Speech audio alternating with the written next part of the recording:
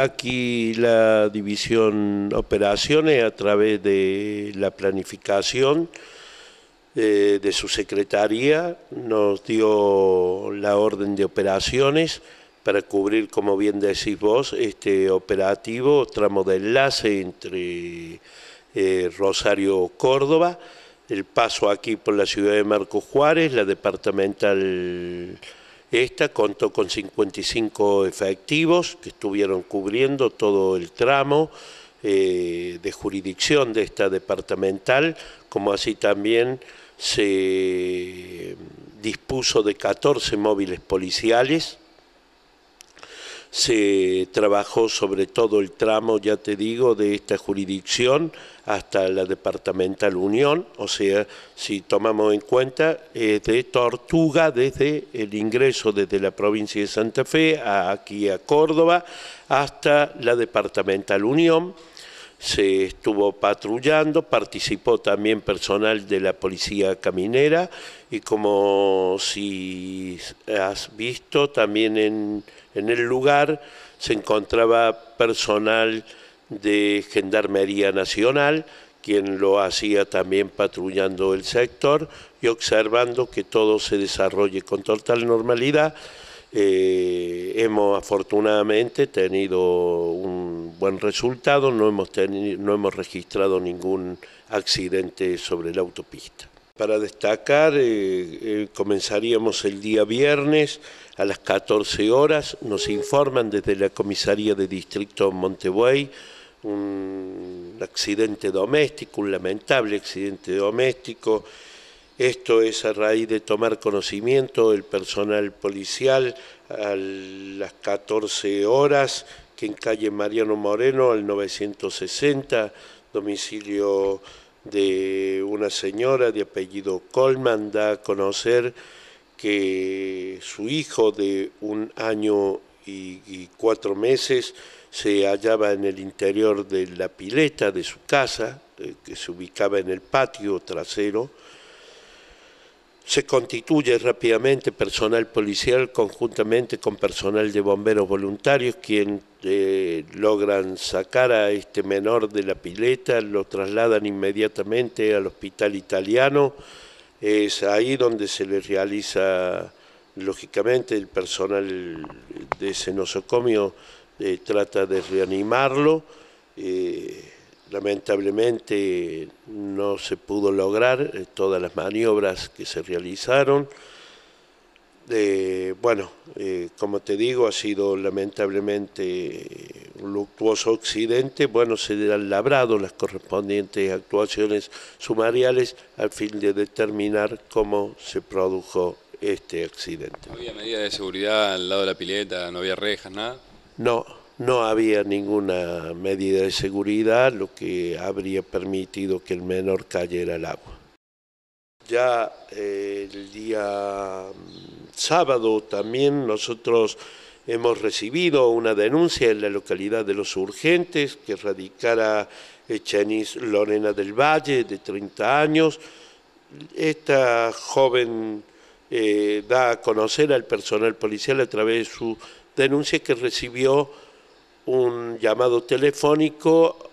un mensaje de texto donde queda grabado, eh, agenda eh, mi nuevo número. Lógicamente ella hace unas averiguaciones y bueno, en su denuncia da a conocer que esta provenía de una penitenciaria de Mendoza. Es importante esto que lo denuncie ya que es bueno saberlo para aconsejar desde la parte policial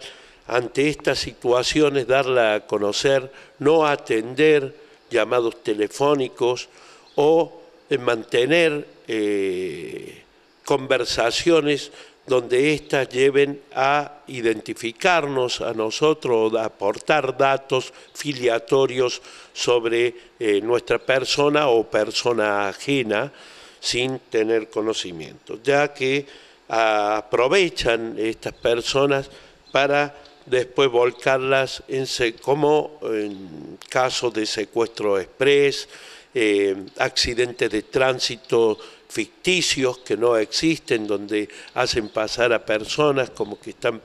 padeciendo un accidente de tránsito y la hacen comparecer con dinero en lugares eh, atento a las necesidades, ¿no es cierto?, por las leyes. El día domingo nos informan desde la comisaría de Leones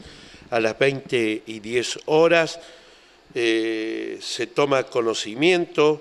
que en momentos en que el señor eh, Norberto Raúl Romiti, de 55 años, vecino de esa ciudad, transitaba en su moto Corben de 150 cilindradas por calle Almirante Brown, antes de llegar a la avenida Libertador, casi frente al,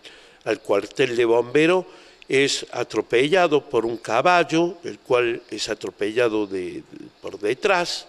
venía un caballo a gran velocidad, lo lleva por delante, este corría lógicamente por la vía pública,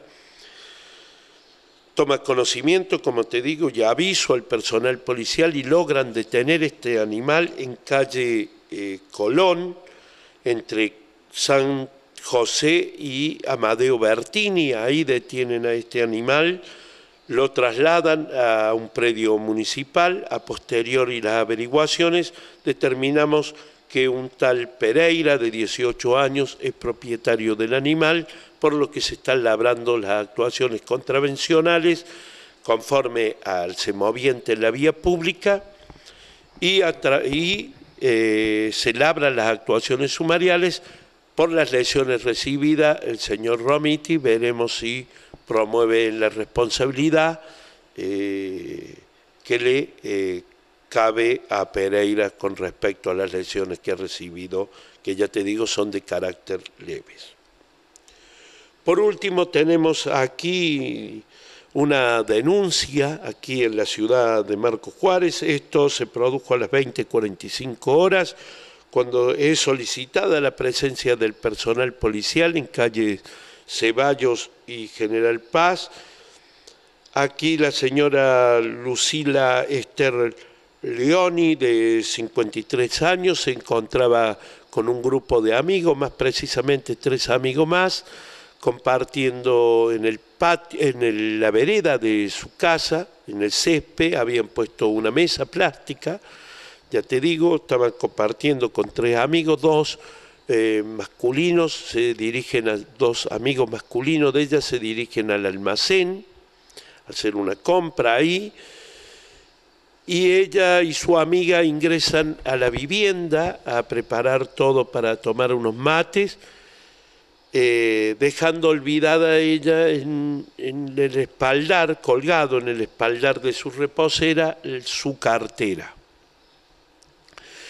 Bueno, en un momento ella advierte que se detiene una motocicleta, empieza a prestar atención y ahí ve que un joven de estos que iban iba a bordo de la motocicleta le levanta la cartera y se dan a la fuga en este vehículo. En el interior de la cartera llevaba 100 pesos, un teléfono celular Motorola y documentación varia. Esto ha, sido, lógicamente, aprovechando el descuido que ha tenido la damnificada.